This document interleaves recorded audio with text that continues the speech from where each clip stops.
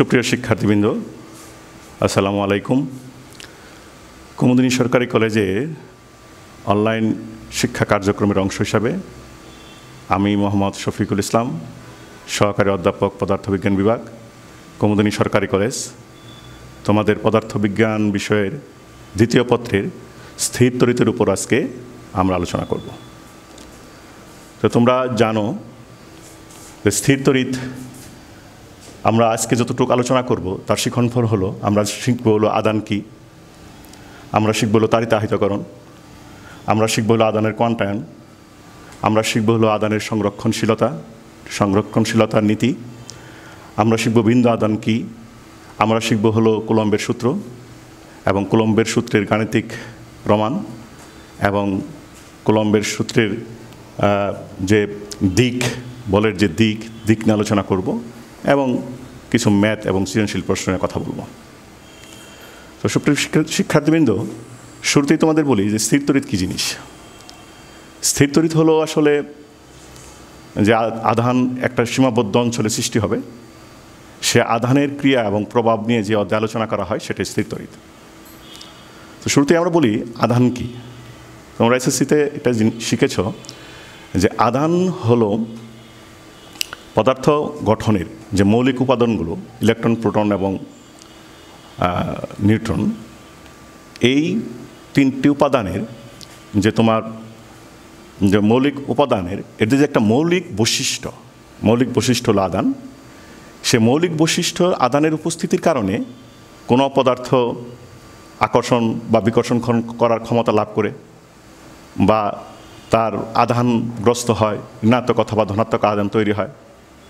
তো আদান হলো পদার্থ গঠনকারীর মৌলিক উপাদানগুলোর একটা মৌলিক বৈশিষ্ট্য। যার উপস্থিতিতে বস্তু আকর্ষণ বা বিকর্ষণ করার ক্ষমতা লাভ করে। সাধারণত আমরা ইলেকট্রনের আধানকেই আদান হিসেবে ধরে নিই। ইলেকট্রনের যদি আধিক্য হয়, তাহলে হয় সেটা হলো নেগেটিভ আদান, আর ইলেকট্রনের যদি ঘাটতি হয়, তখন সেটাকে আমরা বলি পজিটিভ আদান। এ হলো আদান। তারিতাহিতকরণ বিষয়টি কি? এটাও তোমরা পড়েছ যে দুটি পদার্থের ঘর্ষণের ফলে দুটি পদার্থের মধ্যে একটি নেগেটিভ আদানে পরিণত হয় আর একটা পজিটিভ আদানে পরিণত হয়। এই ঘটনাকে বলা হয় তারিতাহিতকরণ। এটা ঘটনাটা কেন ঘটে? ঘটে হলো প্রত্যেক পরমাণুর নিজস্ব ইলেকট্রনের চেয়ে অন্যান্য ইলেকট্রনের প্রতি আসক্তি বেশি থাকে। তাহলে যে পদার্থের ইলেকট্রনের প্রতি আসক্তি বেশি থাকে সে পদার্থ করে কি অন্য পদার্থ থেকে ইলেকট্রন নিয়ে নেয়। নিয়ে সে নেগেটিভ আয়নে পরিণত হয়, আর যার কাছ থেকে ইলেকট্রন নিল, সে পজিটিভ আয়নে পরিণত হয়। একটা উদাহরণ দেওয়া যেতে পারে, যে আমরা কাজদণ্ডকে যদি রেশমি কাপড় দ্বারা ঘষি রেশমি কাপড়ের ইলেকট্রনের ইলেকট্রনের প্রতি আসক্তি বেশি। সে তখন করে কি কাজদণ্ড থেকে ইলেকট্রন নিয়ে নেয়। এতে রেশমি কাপড় পজিটিভ নেগেটিভ আয়নে পরিণত হয় এবং কাজদণ্ড পজিটিভ আয়নে পরিণত হয়। এই ঘটনাকে বলা হয় তারিতাহিতকরণ তোমরা এগুলো জানো মোটামুটি। তো আমরা এটাও জানো তোমরা যে নেগেটিভ আদান পরস্পরকে বিকর্ষণ করে নেগেটিভ পজিটিভ পরস্পরকে আকর্ষণ করে। আমরা তারপরে শিখব হলো আদানের কোয়ান্টায়ন জিনিসটা কি। আদানের কোয়ান্টায়ন প্রত্যেক পদার্থের মুঠ ইলেকট্রন, একটা নির্দিষ্ট ইলেকট্রনের পূর্ণ সংখ্যার গুণিতক হয়। যেমন সমীকরণটা আমরা এইভাবে বলতে পারি যে Q equal to N E এখানে ইটা হলো আসলে একটা ইলেকট্রনের আদান তোমরা জানো ইলেকট্রনের আদান হলো ten to the power one point six into ten to the power minus nineteen coulomb এবং মোট আদান হবে সে ইলেকট্রনের পূর্ণ সংখ্যার গণিতক। এক গুণ, দুই গুণ, তিন গুণ, এরকম হতে পারে। কিন্তু কখনো ফ্র্যাকশন আকার হতে পারে না।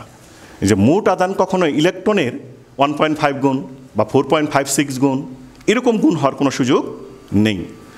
মোট আদান হবে ইলেকট্রনের পূর্ণ সংখ্যার গুণিতক। এটিকে বলা হয় আদানের কন্টায়ন এরপর তুমি জানতে পারো যে আদানের সংরক্ষণশীলতা নীতি কী। তোমরা সংরক্ষণশীলতার নীতি জানো যে আদান এখানে তৈরি করার সুযোগ নাই, ধ্বংস করার সুযোগ নাই।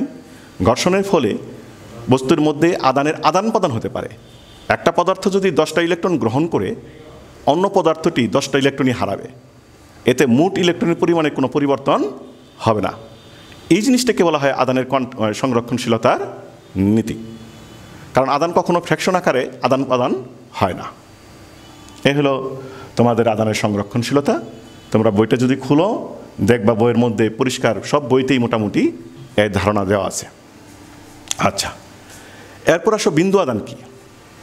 বিন্দু আদান হলো বিন্দু আদান হলো খুব ক্ষুদ্র আদান।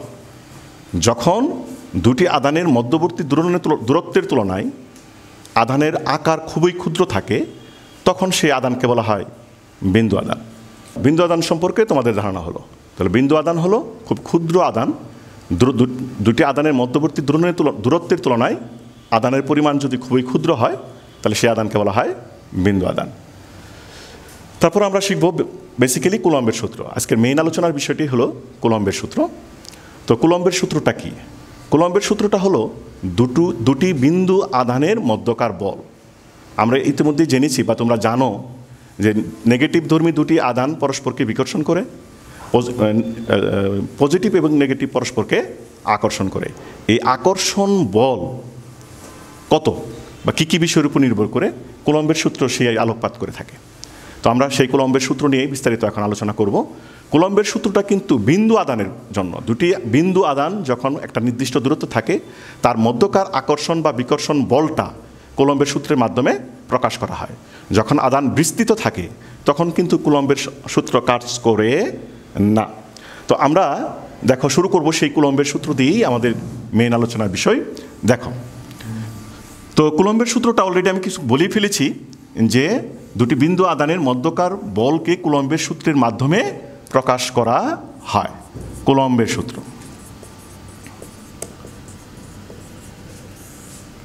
দুটি বিন্দু আদান। একটা আদান কিউ ওয়ান এ একটা আদান কত? Q two. এদের বন্ধুতুল এ এবং বি দড়ি। মধ্যবর্তী ডি, দূরত্ব যদি ডি দড়ি, তাহলে কি হয়? কোলম্বের সূত্রটা কি? স্টেটমেন্টটা কেমন হতে পারে? কোলম্বের সূত্রটা হলো যে আধানদ্বয়ের গুণফলের সমানুপাতিক, মধ্যবর্তী দূরত্বের ব্যস্তানুপাতিক। কোলম্বের সূত্র সম্পর্কেও তোমাদের ধারণা কিন্তু আছে। কোলম্বের সূত্র আদানের প্রকৃতি তিনটি বিষয়ের উপর নির্ভর করে। আদানের পরিমাণ আদানদ্বয়ের মধ্যবর্তী দূরত্ব এবং মধ্যবর্তী দূরত্বের মাধ্যমের প্রকৃতির উপর। তো আমরা যদি ধরে নিই যে এ এবং বি বিন্দু, সেখানে দুটি বিন্দু আদান আছে, কিউ ওয়ান এবং কিউ টু। তাহলে কুলম্বের সূত্রের প্রথম কথা হলো যে বল, মধ্যকার বল, সেটা আকর্ষণ হতে পারে বিকর্ষণ হতে পারে। সেটা আদানের প্রকৃতির উপর নির্ভর করবে। হ্যাঁ মধ্যকার বল আধানদ্বয়ের গুণফলের কি? সমানুপাতিক। এবং মধ্যকার বল আধান আধানদ্বয়ের মধ্যবর্তী দূরত্বের বর্গের ব্যস্তানুপাতিক। এই সূত্রটাকে বলা হয় কি? কুলম্বের সূত্র। অবশ্যই সেখানে বলতে হবে কিন্তু নির্দিষ্ট মাধ্যম। নির্দিষ্ট মাধ্যমে দুটি বিন্দু আদানের মধ্যকার বল আদানদ্বয়ের গুণফলের সমানুপাতিক এবং তার মধ্যবর্তী দূরত্বের বর্গের ব্যস্তানুপাতিক। আমরা যদি সূত্র দুটি সমন্বয় করি, তাহলে সূত্রটা দাঁড়াবে F equal to Q one Q two হ্যাঁ বা এফ সমানুপাতিক কি? Q one Q two by D square আমরা যদি সেটাকে সমান ধরি, তাহলে তোমরা জানো একটা সমানুপাতিক ধ্রুবক আসবে। তাহলে সমানুপাতিক ধ্রুবক ডি স্কোয়ার এই সূত্রটাকে বলা হয় কুলম্বের সূত্রে একটা রূপ। কুলম্বের সূত্রে কিন্তু বেশ কয়েকটা রূপ আছে, আমরা প্রাথমিক রূপটা কিন্তু আমরা জেনে নিলাম।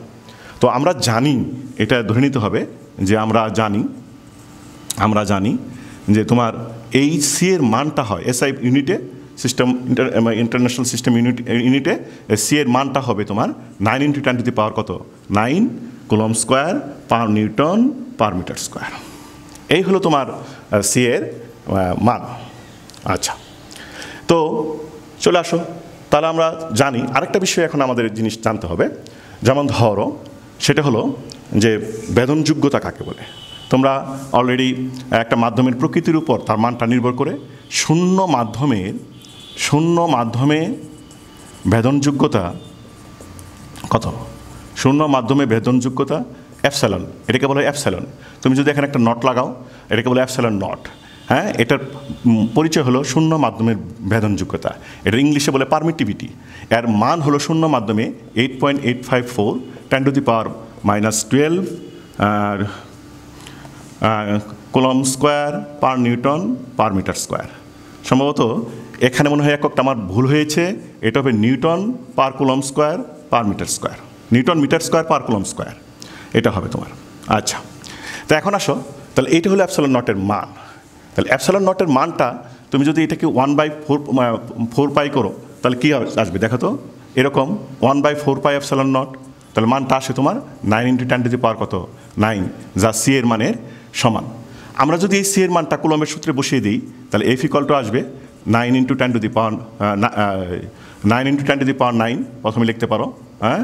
কি Q one Q two by কত? ডি স্কোয়ার অথবা আমরা এই রূপে লিখতে পারি যে one by four pi epsilon naught Q one Q two by D square এটাই হলো শূন্য মাধ্যমে কুলম্বের সূত্র। এই সূত্রটাকে বলা হয় শূন্য মাধ্যমে শূন্য মাধ্যমে কি? কুলম্বের সূত্র। আচ্ছা ওকে তো এখন তাহলে তোমার কি দাঁড়াল? এখন যদি অন্য কোনো মাধ্যম হয়, তাহলে কি করবে? অন্য কোনো মাধ্যমে শুধু মাধ্যমের প্রকৃতি মানে অ্যাপসালন নট এর মানটাই শুধু চেঞ্জ হবে। আমরা যদি অন্য মাধ্যমের বিষয়টা লিখি, অন্য মাধ্যম, তাহলে কি আসবে দেখো তো? তখন সূত্রটা আমাদের রূপটা আসবে হলো এরকম যে F equal to one by four pi epsilon হ্যাঁ? Q one Q two by কত? ডি স্কোয়ার এটা হলো যে কোনো মাধ্যমের এটা হলো যে কোনো মাধ্যমের হ্যাঁ? যে কোনো মাধ্যম। কারণ ওই অ্যাপসালন মানটাই তোমার নির্ভর করবে মাধ্যমের প্রকৃতির উপর। সেই অ্যাপসালনের মানের উপর যে কোনো মাধ্যম, যদি মনে করো পানি মাধ্যম, তাহলে অ্যাপসালনের মানটা শূন্য মাধ্যমের মানের সমান আসবে না, অন্য কোনো মান আসবে। এই হলো বিষয়।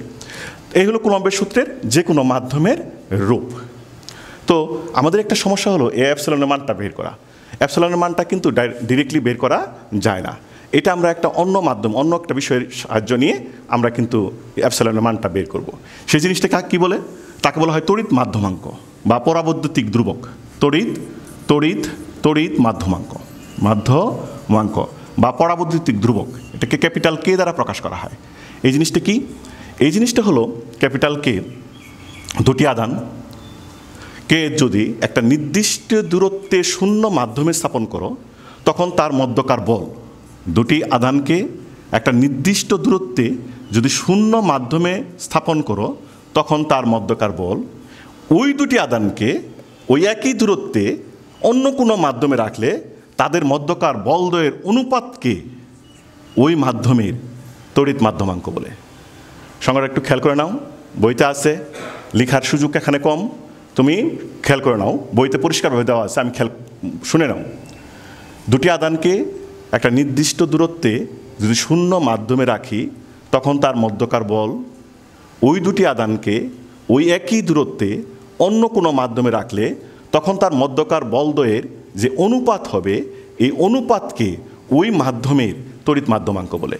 ধরে নিতে পারো এভাবে, শূন্য মাধ্যমের মধ্যকার বল, দুটি আদান, ওই একই দূরত্বে ওই দুটি আদানকে যদি পানি মাধ্যমে রাখি, তাহলে পানি মাধ্যমে যে মধ্যকার বলদ্বয় পাবো, এই বলদ্বয়ের অনুপাতকে বলা হয় ওই মাধ্যমের বা পানি মাধ্যমের তড়িৎ মাধ্যমাঙ্ক। দেখো, আমরা যদি সেই বলের মানদয় বসিয়ে দিই, তাহলে কিন্তু আমাদের কাজটা হয়ে যাবে। যেমন এটা সূত্রটা কেমন হবে? Four pi epsilon naught Q one Q two by D square. এখানে কিন্তু আদান দ্বয়ের চেঞ্জ হওয়ার সুযোগ নাই। যে দুটো আদান শূন্য মাধ্যমে থাকবে, পানি মাধ্যমে বা অন্য কোনো মাধ্যমে রাখলে ওই দুটো আদানই ওই একই দূরত্বে কিন্তু রাখতে হবে। খালি চেঞ্জটা হবে কি এখানে? চেঞ্জ হবে তোমার four pi epsilon naught epsilon Q one Q two by D square তাহলে তুমি যদি এখন কাটা যায়, যদি থাকে, তাহলে কে সমান সমান কী হচ্ছে? কে হলো one by epsilon naught by কত? ওয়ান বাই অ্যাপসালন তাহলে কে সমান সমান কত হলো তোমার? অ্যাপসালন বাই অ্যাপসালন নট তাহলে অ্যাপসালন সমান সমান কত হলো? কে অ্যাপসালন নট তাহলে দেখা যাচ্ছে যে এই অন্য কোনো মাধ্যমের তড়িৎ মাধ্যমাঙ্ক, শূন্য মাধ্যমের তড়িৎ বেদনযোগ্যতা এবং তড়িৎ মাধ্যমাঙ্কের মধ্যে গুনলেই আমাদের ওই মাধ্যমের কি পাওয়া যাচ্ছে? বেদনযোগ্যতাটা পাওয়া যাচ্ছে। তাহলে এই কে এর মানটা যদি আমরা জানি অ্যাপসালনের মানটা তো আমাদের মুখস্থ, আমরা সবসময়ের মান আপনারা জানি। কে এর মান যদি কোনো মাধ্যমের আমরা জানি, তাহলে ওই মাধ্যমের বেদনযোগ্যতা আমরা সহজেই বের করতে পারব। তাহলে আমাদের যে কোনো মাধ্যমে, যে কোনো মাধ্যমে কুলম্বের সূত্রের রূপটা তাহলে কেমন হবে? যে কোনো মাধ্যমে কুলম্বের সূত্রের রূপটা হবে হলো এখন এভাবে। খেয়াল করে দেখো, K equal to one F equal to one by four pi epsilon naught K Q one Q two by D square এটি হলো আসলে কোলম্বের সূত্রের ফাইনাল রূপ যদি বায়ু মাধ্যম হয়, যদি বলো বায়ু বায়ু মাধ্যমে বায়ু মাধ্যমে কিন্তু K equal to one K এর মানটা কিন্তু ওয়ান এটার মান হয় one point zero zero five তিনটা শূন্যের পর ফাইভ অতএব সেটা বিবেচনা হয় না কে ইকল টু ওয়ান যদি কে ইকল টু ওয়ান হয়, তাহলে কিন্তু আমাদের বায়ু মাধ্যমে রূপটাই কিন্তু ফিরে আসে, দেখো। One by four pi epsilon naught হ্যাঁ? Q one Q two by D square আর যদি আমরা অন্য কোনো মাধ্যমে আমরা আদানদয় স্থাপন করি, তাহলে কে এর মান জানা থাকবে। কে এর মান যদি জানি, তাহলে কে ইন্টু শূন্য মাধ্যমের বেদনযোগ্যতা গুণ করলেই আমাদের সেই মাধ্যমের বেদনযোগ্যতার মানটা বের হয়ে আসবে। তাহলে এটি হলো আমাদের কুলম্বের সূত্রের ফাইনাল রূপ। তো আমরা জানি, বল কী রাশি? বল একটা ভেক্টর রাশি। তাহলে অবশ্যই এখানে একটা ভেক্টর রূপ আমরা অ্যাটেন্ড করতে পারি। বল হলো একটা ভেক্টর রাশি। তাহলে ভেক্টর রূপ কেমন হবে? ভেক্টর রূপ ভেক্টর চিহ্ন one by four five epsilon naught হ্যাঁ? আমরা কে রাখি বা হ্যাঁ রেখে দিতে পারি। তাহলে কী হবে তোমার? Q one Q two D square into একটা ইউনিট ভেক্টর দাও, একটা একক ভেক্টর অর্থাৎ এই বলের ডিরেকশনটা হবে ওই একক ভেক্টরের ডিরেকশন যেদিকে সেই দিকে এটাকে আমরা একক ভেক্টর কেমন জানি? আমরা বলতে পারি একক ভেক্টর ইউ সমান সমান কি?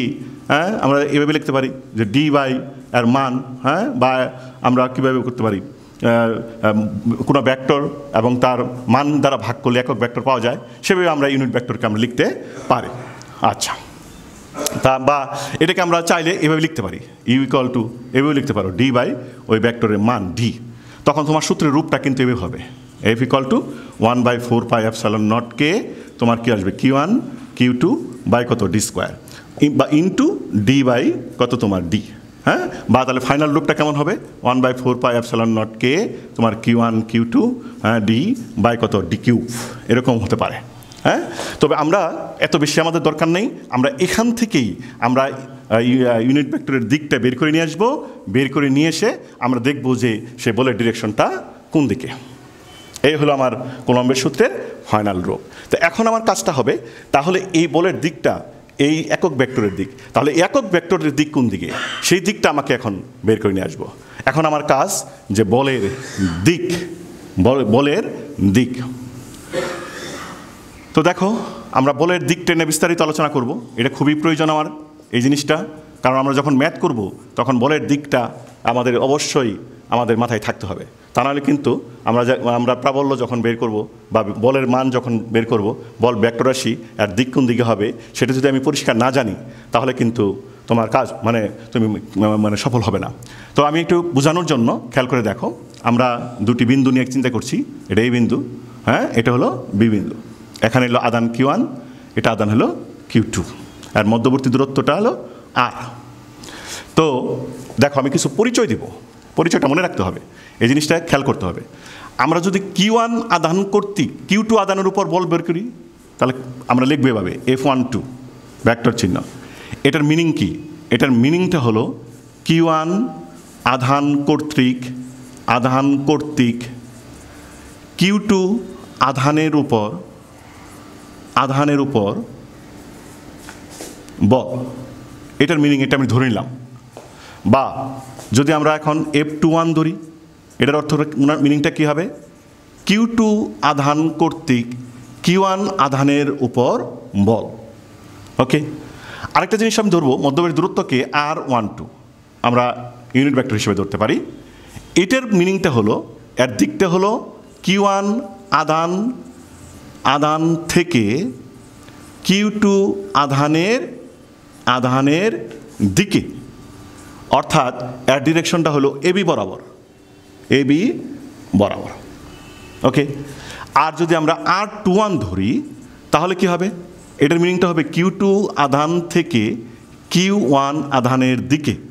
অর্থাৎ এর ডিরেকশনটা হবে কি? বিয়ে বরাবর। আমরা এই চারটা জিনিস ধরে নিলাম। হ্যাঁ? খেয়াল করো। আরেকটা কাজ করা যেতে পারে কিন্তু, আমরা ভ্যাক্টরের নিয়ম অনুসারে F one two equal to লেখা যেতে পারে মাইনাস এফ টু ওয়ান এটাও আমরা লিখতে পারি, যেমন, বা আমরা এটাও লিখতে পারি আর ওয়ান টু হ্যাঁ ভ্যাক্টরের নিয়ম অনুসারে মাইনাস আর টু ওয়ান এই দুটো জিনিস মনে রাখো, এটা আমার কাজে লাগবে। এটা আমরা প্রকাশ করতে পারি। ওকে, তো এখন আমরা ফিরে আসি যে এর দিকের দিকটা কীভাবে নির্ণয় করব। তোমরা একটু ভালো করে খেয়াল করার চেষ্টা করো, বা বইটা দেখবে, বা কোনো কোনো বইতে কিন্তু নেই, সেটাও একটু খেয়াল করবে। দরকার পড়লে তোমরা একটু লিখে নিতে পারো এই জিনিসটা। একটু সময় দিচ্ছি। তাহলে তুমি আসো যে আমি একটু সমীকরণ লিখে রাখি। উপরে হেডিংটা আমি মুছে ফেললাম।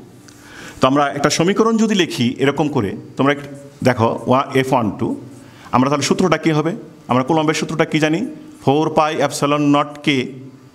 হ্যাঁ? Four pi epsilon naught K into Q one, Q two by কত? D square. আমরা ইউনিট ভেক্টর এখানে আর দিয়ে প্রকাশ করছি। আমরা রাখলাম আর আর ওয়ান, টু। মানে এটা দ্বারা কী বোঝাচ্ছে? লিখে রাখছে এখানে। এফ ওয়ান টু মানে এফ ওয়ান কিউ ওয়ান আদান কর্তৃক কিউ টু আদানের উপর কিউ টু কিউ টু আদানের উপর প্রযুক্ত বল। তাহলে আমরা সেটাই কিন্তু শুরু করছি। তো এখন দেখো, খেয়াল করে দেখো, আমরা দিকটা কেমনে বের করে নিয়ে আসি। কিউ ওয়ান যদি পজিটিভ হয় কিউ ওয়ান পজিটিভ পজিটিভ আদান। কিউ টুও পজিটিভ পজিটিভ আদান। বা কিউ ওয়ান ঋণাত্মক কিউ টুও কি ঋণাত্মক? তার ভালো করে খেয়াল করো একটু। Q one positive Q two positive তাহলে positive positive positive Q one negative Q টুও negative negative নেগেটিভেও পজিটিভ তাহলে এইটুকুর মান একটা পজিটিভ ভ্যালু আসবে। তাহলে আমরা যদি একটু খেয়াল করে দেখো, তাহলে আমার মানটা কি আসবে? F one two equal to এইটুকুর মান একটা পজিটিভ ভ্যালু তোমার আমার দরকার তো ডিরেকশন সেই ডিরেকশনটা নিয়ে কিন্তু কথা বলছি। তাহলে ডিরেকশনটা কোন দিকে হবে দেখো তো? এফ ওয়ান টু দুটি আদান যদি পজিটিভ অথবা দুটি আদান যদি নেগেটিভ হয়, তাহলে বলের ডিরেকশনটা হবে ওয়ান থেকে টু এর দিকে। অর্থাৎ এবি বরাবর। ওয়ান থেকে টু এর দিকে। কিউ ওয়ান আদান থেকে কিউ টুর দিকে। অর্থাৎ কি হবে? এবি বরাবর। কথাটা কিন্তু আমি আবার বলছি। একটু ভালো করে খেয়াল করো। দুটি আদানের মধ্যকার বল এফ ওয়ান টু মানে কিউ ওয়ান আদান কর্তৃক কিউ টু আদানের উপর প্রযুক্ত বল। এই দুটি বল ডিরেকশন কোন দিকে হবে? দুটি আদান যদি পজিটিভ হয় অথবা দুটি আদান যদি নেগেটিভ হয়, তাহলে আমার এই মানটা আসবে পজিটিভ তাহলে ইউনিট ভেক্টর কত? আর ওয়ান টু তাহলে বলের ডিরেকশনটা হবে ওয়ান থেকে মানে কিউ ওয়ান থেকে কিউ টুর দিকে। অর্থাৎ বলের দিকটা হবে এবি বরাবর। ক্লিয়ার ওকে কিন্তু এখন দেখো, আমরা যদি আমরা যদি একটু খেয়াল করে দেখি, এখন উল্টা কাজটা করি। এটা যদি তোমার পজিটিভ হয়, এটা কি নেগেটিভ হয়? অথবা এটা Q one negative Q two যদি পজিটিভ হয়, তাহলে কেমন হবে? এখন খেয়াল করে দেখো তো, যে যে বিষয়টা আসতেছে সেটা হলো যে Q one positive Q two negative তাহলে পজিটিভ নেগেটিভ গুণ ফল কী হবে? Negative Q one negative Q two কি পজিটিভ তাহলে পজিটিভ নেগেটিভ গুণ ফল কী হবে? নেগেটিভ তাহলে বলের ডিরেকশনটা হবে দেখো তো, খেয়াল করে, এখানে কি আসবে একটা? নেগেটিভ ভ্যালু আসবে। তাহলে নেগেটিভ ভ্যালু যদি আসে, তখন আমরা এটাকে পজিটিভ করতে চাই। পজিটিভ করলে এই আর ওয়ান টু এখানে আমরা নেগেটিভ মানটা বসিয়ে দেব। তাহলে এই যে জিনিসটা কী আসলো দেখো তো? পজিটিভ ভ্যালু হ্যাঁ? তারপরে কি? আমরা এই যে লিখে রাখছি যে R one two equal to minus R two one তার মানে কী হবে তোমার? আর টু ওয়ান তার মানে দিক কি? উল্টে গেছে, দেখো। তার মানে ভালো করে খেয়াল করি। প্রথম আদান কর্তৃক, আমার কিন্তু বল কিন্তু এটি আছে। প্রথম আদান কর্তৃক দ্বিতীয় আদানের উপর প্রযুক্ত বল। যদি দুটি আদানের মধ্যে যে কোনো একটি আদান যদি নেগেটিভ হয়, তাহলে বলের ডিরেকশন হবে দুই নাম্বার আদান থেকে মানে কিউ টু থেকে কিউ ওয়ানের দিকে। উল্টা জিনিসটা কিন্তু হবে, মনে রাখতে হবে। আবার পুরা জিনিসটা আবার বলছি, খেয়াল করে দেখো, খুব ইম্পর্টেন্ট এই দিক যদি তুমি না বুঝো, তাহলে কিন্তু তোমার ম্যাথ করতে পারবে না। কথাটা আমি আবার বলছি, তারপরে আমি একটা ফিগার রেখে উদাহরণ উদাহরণ দিব। খেয়াল করে দেখো যে তোমার এফ ওয়ান টু প্রথম আদান কর্তৃক দ্বিতীয় আদানের উপর প্রযুক্ত বল। মানে কিউ ওয়ান আদান কর্তৃক, কিউ টু আদানের উপর প্রযুক্ত বল। দুটি আদানে যদি পজিটিভ হয়, অথবা দুটি আদানে যদি নেগেটিভ হয়, তাহলে বলের ডিরেকশন হবে কিউ ওয়ান থেকে কিউ টুর দিকে। এখানে পরিষ্কার। কিন্তু প্রথম আদান কর্তৃক, দ্বিতীয় আদানের উপর প্রযুক্ত বল। অর্থাৎ কিউ ওয়ান আদান কর্তৃক, কিউ টু আদানের উপর প্রযুক্ত বল। দুটি আদান যদি, দুটি আদানের মধ্যে যদি একটি আদান পজিটিভ আরেকটি আদান নেগেটিভ হয়, তাহলে বলের ডিরেকশন হবে কিউ টু থেকে কিউ ওয়ানের দিকে। এই হলো তোমার কিন্তু দিকের বিষয়। তো দিকটা আমাকে জানতে হবে। তো আমি একটা ফিগার এঁকে তোমার সেই দিকের ব্যাখ্যাটা কিন্তু আমি দিচ্ছি। ওকে তো দেখো তো খেয়াল করে, আমি সেই এভাবে ম্যাথও আছে বইতে, তোমরা ম্যাথ করতে পারবা। যদিও আমি একটা ম্যাথ করাবো আজকে তোমাদেরকে, সেটা হলো হ্যাঁ? এভাবে খেয়াল করে দেখো তো, যে আমরা একটা ম্যাথ করে ফেলতে পারি এখন। হ্যাঁ? এই, একটা ত্রিভুজ। একটা ত্রিভুজ। এ বি সি এ বা আমরা এখান থেকে শুরু করতে পারি? A B C A B C okay এখানে কিউ ওয়ান আদান কিউ ওয়ান পজিটিভ হ্যাঁ? মান দিচ্ছি না। এখানে কিউ টু ধরলাম এখানে নেগেটিভ আর এখানে কিউ থ্রি হ্যাঁ? এখানে ধরলাম হলো বলটা পজিটিভ আমরা মান বসাই দিতে পারি। টু কুলম বা টু মাইক্রোকুলম থ্রি মাইক্রোকুলম মন যা চা তুমি বসাইতে পারো। কিন্তু আমি শুধু দিকটা নিয়ে এখানে কাজ করছি, আমি ম্যাথ, একটা ম্যাথ পরে করছি। খেয়াল করে দেখো তো, এখন আমি যদি বলি তোমাকে যে সি বিন্দুতে বলের মান কত এবং বলের দিক কোন দিক কত? লব্ধি বলের মান কত? লব্ধি বলের দিক কত? তাহলে কী আর, কী হবে? ওয়ান কর্তৃক থ্রি এর উপর একটা বল পাওয়া যাবে। টু কর্তৃকও থ্রি এর উপর একটা বল পাওয়া যাবে। সেই বলের মানটা তুমি কীভাবে বের করবা? হ্যাঁ এফ ওয়ান, আমরা যদি ওয়ান কর্তৃক থ্রি এর উপর, আমি কিন্তু প্রশ্ন করছি যে সি বিন্দুর উপর, প্রশ্নটা কি? প্রশ্নটা হলো সি বিন্দুর সি বিন্দুর উপর প্রযুক্ত বল। সি বিন্দুর উপর প্রযুক্ত বল। ওকে? তাহলে এখন এটা তুমি বের করো। এটা আমার প্রশ্ন ইকুয়াল টু হার্ট এটা আমার প্রশ্ন। তাহলে তোমার কি হলো? ওয়ান কর্তৃক থ্রি এর উপর একটা বল বল পাওয়া যাবে। টু কর্তৃকও থ্রি এর উপর একটা বল পাওয়া যাবে। তাহলে দুইটা বল কিন্তু পাওয়া যাবে। তারপরে সেই দুইটা বলের লব্ধি বের করতে হবে। তো ওকে? তা আমরা আগে ওয়ান কর্তৃক থ্রি এর উপর প্রযুক্ত বলটা বের করে নিই। এফ ওয়ান থ্রি তাহলে কত হবে তোমার? আমাদের সূত্র কত জানি? যে nine into to the power nine কি Q one Q two by কত? এটা দূরত্ব দেওয়া থাকবে তখন, মনে করো আর দূরত্ব দেওয়া আছে সমবাহু ত্রিভুজ, তাহলে কত হবে তোমার আর স্কোয়ার তাহলে এই বলটা তুমি মান কিন্তু পেয়ে গেছো, এটা হলো মান। তাহলে এই বলের ডিরেকশনটা কোন কত হবে দেখো তো? এ আদানটাও পজিটিভ এ আদানটা পজিটিভ তাহলে ওয়ান কর্তৃক থ্রি এর উপর প্রযুক্ত বল, দুইটা আদানই পজিটিভ তাহলে বলের দিক হবে ওয়ান থেকে থ্রি এর দিকে। তাহলে অর্থাৎ এখানে বলটা আসবে তোমার এখানে বলটার দিক হবে কোন দিকে? খেয়াল করে দেখো, এটা আমরা বলছি পজিটিভ তাহলে ওয়ান থেকে থ্রি এর দিকে, এদিকে। তার মানে এফ ওয়ান থ্রি এই বলের দিকটা হবে এদিকে। আর একটু ভালো করে যদি আঁকাই, তাহলে কী আসবে? এদিকে। এই। এখন আমরা বলের মান পেয়ে গেছি, এবং মানটা বের করে যদি কিউ ওয়ান আর কিউ টু আর দেওয়া থাকে, তুমি কি করবে? মানটা বসিয়ে এর দিকটা তুমি পাবে, যে এর দিকটা কোন দিকে হবে? এসি বরাবর। এখানে একটা মান পাওয়া যাবে, সেই মানটা এসি বরাবর। জিনিসটা খেয়াল করো, টু কর্তৃক থ্রি এর উপর প্রযুক্ত বল। তাহলে টু কর্তৃক থ্রি এর উপর প্রযুক্ত বলে সমীকরণটা কেমন হবে? F two three equal to কত হবে তোমার? খেয়াল করে দেখো nine ten to power nine হ্যাঁ? Q two Q two Q three by কত? আর স্কোয়ার তাহলে এখানেও কিন্তু তুমি একটা মান পাবে, একটা মান পাবে। তাহলে আর দিকটা কোন দিকে হবে? খেয়াল করে দেখো কিউ টু কর্তৃক কিউ থ্রির উপর প্রযুক্ত বল। Q two negative Q three positive আমরা একটু আগে কী শিখলাম? দুইটা আদানের মধ্যকার বল যদি দুইটা আদান, একটা পজিটিভ আর একটা নেগেটিভ হয়, তাহলে বলের দিক হয়, তার দিকেই। অর্থাৎ টু এর দিকেই হবে। তার মানে এই বলের ডিরেকশনটা হবে কোন দিকে? থ্রি থেকে টু এর দিকে। তার মানে এই বলের ডিরেকশনটা হবে সিবি বরাবর। তাহলে এই বলের ডিরেকশনটা কত হবে তোমার? সিবি বরাবর। তাহলে তুমি, এটা হলো তোমার বলের দিক কিন্তু। তাহলে তুমি, তোমাদের ক্লিয়ার হওয়ার কথা, দিক কেমন হলো? পজিটিভ করতে পজিটিভের উপর যে দিকটা হবে, সেটা কিন্তু ওয়ান থেকে থ্রি এর দিকেই। কিন্তু যখন নেগেটিভ কর্তৃক থ্রি এর উপর প্রযুক্ত বলটা তুমি বের করেছ, তখন কিন্তু বলের দিকটা কিন্তু এটা কর্তৃক এর উপর, আর অর্থাৎ কিন্তু এদিকেই না। যেহেতু দুইটার মধ্যে একটা নেগেটিভ তাহলে তোমার তিন কর্তৃক দুয়ের দিকে হবে। এটি হলো তোমার ডিরেকশন তখন তুমি দুইটা বল পেয়ে গেছো একটা তো সমবাহু ত্রিভুজ হয় এর মাঝখান দিয়ে হবে তোমার হ্যাঁ সরি এটা বল পাওয়া গেছে, আমাদের ভুল হয়ে গেছে, এটা একটা বল হলো এদিকে আর একটা হলো কোন দিকে? এদিকে। তার লব্ধি কোন দিকে হবে? লব্ধি বল হবে তোমার এইদিকে তাহলে এই দুইটা বলের লব্ধি হবে তখন ওই সাইডে বলতে হবে।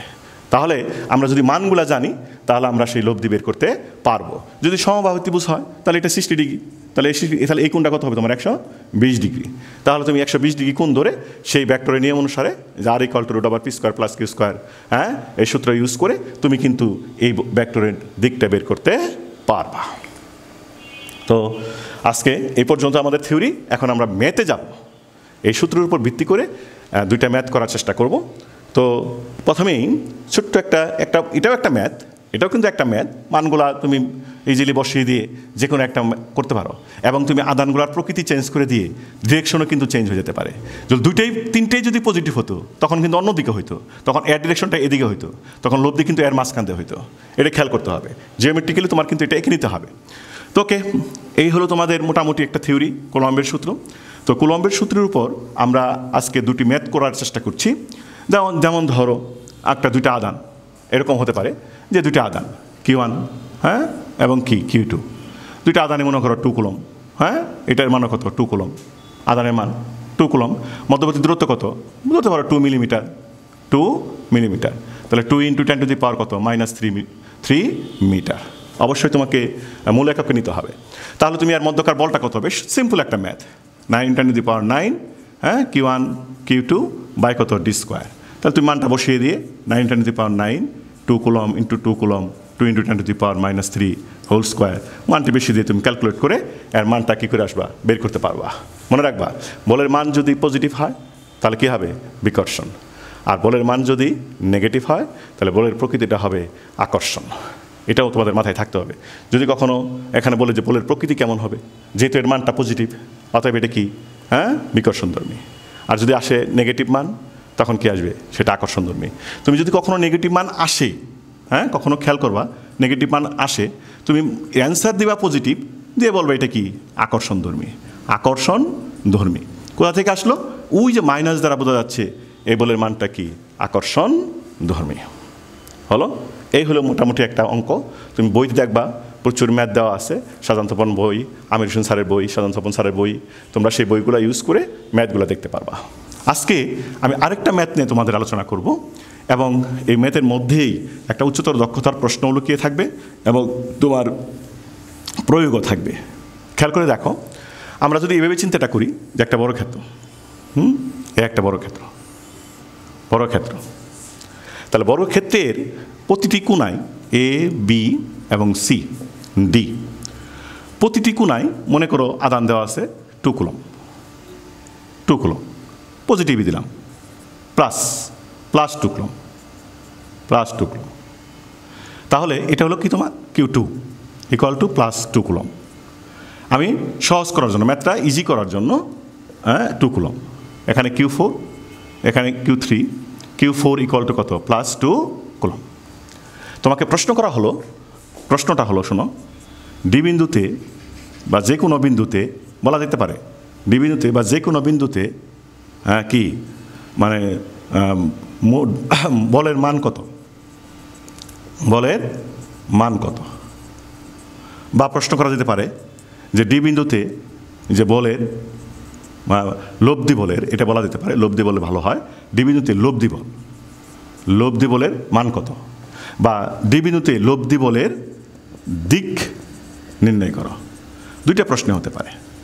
এই হলো তোমার প্রশ্ন। তাহলে খেয়াল করো কীভাবে আমরা ম্যাথটা করব। হ্যাঁ? প্রথমেই আমরা জানি আরেকটা কাজ করা যেতে পারে। বড় ক্ষেত্রের বাহু হলো টু মিটার প্রত্যেকটা two metre two metre two metre তাহলে ম্যাথটা খেয়াল করে নাও। আমরা পুরো অঙ্কটা ভেবে বলতে পারি যে একটি বড় ক্ষেত্রের চার কোনায় যথাক্রমে কি চারটি আদান দেওয়া আছে? Two coulomb two coulomb two coulomb করে। বড় ক্ষেত্রের বাহুর দৈর্ঘ্য হলো টু মিটার প্রশ্ন করলাম হলো যে কোনো কৌণিক বিন্দুতে বলের মান ও দিক নির্ণয় করো। একসঙ্গে বলা যেতে পারে। যে কোনো বিন্দুতে, আমি ডি বিন্দু ধরছি, তুমি এই বিন্দু বের করতে পারবা, বি, সি যেটা প্রশ্ন, করা যেতে পারে, কোনো সমস্যা নেই। তো আমি নিচের টুক, খেয়াল করো, আমরা একটু এভাবে চিন্তা করি, আমরা বলের মান বের করতে গেলে আদানদের মধ্যবর্তী দূরত্ব লাগে, তাহলে এই দূরত্বটা লাগবে। আগে আমরা এই দূরত্বটা বের করে নিই, বিডি, এটা কি? আমরা জানি কর্ণ ইকল টু কত রুট টু এ তাহলে root two root two into A A এখানে কত? এ হলো টু তার মানে বিডি হলো টু রুট টু তুমি এটা বের করে নিতে পারো। হ্যাঁ? আচ্ছা। তাহলে এখন প্রত্যেকটা বলের মান আমরা বের করব। যেহেতু আমি ডিবিন্দুর কথা বলছি ডিবিন্দুর কথা বলছি, তাহলে ওয়ান কর্তৃক ফোরের উপর বল বের করব। টু কর্তৃক ফোরের উপর বল বের করব। থ্রি কর্তৃকও বলের উপর ফোরের উপর বলের মান বের করব। কীভাবে করব? প্রথমে করছি ওয়ান কর্তৃক ফোরের উপর। আমি লিখলাম এইভাবে তোমার বোঝার সুবিধা হয়ে যাবে। উচ্চারণ ফরটিন করবে না, চোদ্দ করবে না। এটা হলো ওয়ান কর্তৃক ফোরের উপর প্রযুক্ত বল। এফ ওয়ান ফোর দ্বারা এটা বোঝাচ্ছে কিন্তু। দেখো তো, তাহলে সমীকরণটা কেমন হবে? Nine into to the power nine কি Q one Q four by কত? ডি স্কোয়ার তাহলে আমাদের nine into to the power nine Q ওয়ানের মান কত? টু এর মান তো টু তাহলে টু স্কোয়ার তাহলে মানে বলের মানটা কত আসলো? Nine point nine newton. এরপর দেখো তো, এবং সে বলের দিকটা কোন দিকে হবে? ওয়ান কর্তৃক ফোরের উপর। দুটেই কিন্তু পজিটিভ তাহলে বলের দিক ওয়ান থেকে ফোরের দিকেই হবে। ওয়ান থেকে ফোরের দিকেই হবে। তাহলে এটা হলো এফ ওয়ান ফোরের দিক। আমি কিন্তু নিচের এই অংশটুকু মুছে ফেললাম। তোমরা হয়তো লিখে নিয়েছ। ওকে তাহলে আমরা ফিগারটা সুন্দর করার জন্য। আচ্ছা এখন আসো টু কর্তৃক ফোরের উপর প্রযুক্ত বল কীভাবে লাগবা F two four nine ten the power nine কি? Q two into Q four by কত? ওই যে দূরত্ব কিন্তু এখন এটা BD two root two whole square হ্যাঁ বা বিডি স্কোয়ার লিখতে পারো। বিডিও লিখতে পারো। বিডি স্কোয়ার হ্যাঁ বিডি স্কোয়ার ওকে মানটা বসাই দাও।